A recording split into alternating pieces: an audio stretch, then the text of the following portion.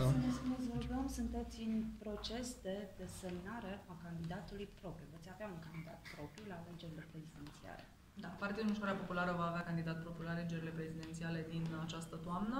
Discutăm în interiorul filialelor și avem și un sondaj la nivel național despre candidați cu reputație bună în zona publică, Toader Paleologu, fost ministru al culturii, diplomat, fost deputat, de asemenea, Mihail Neamțu, scriitor, o voce tânără, credibilă în zona aceasta conservatoare de dreapta, George Mioc, un român stabilit în Statele Unite ale Americii, de asemenea o voce din zona conservatoare, cunoscută și recunoscută printre românii din diaspora, iar din interiorul partidului au intrat în această uh, competiție și au fost testați în uh, sondaj uh, Eugen Tomac, europarlamentar și președintele partidului, și Robert Turcescu, deputat PMP și fost uh, jurnalist.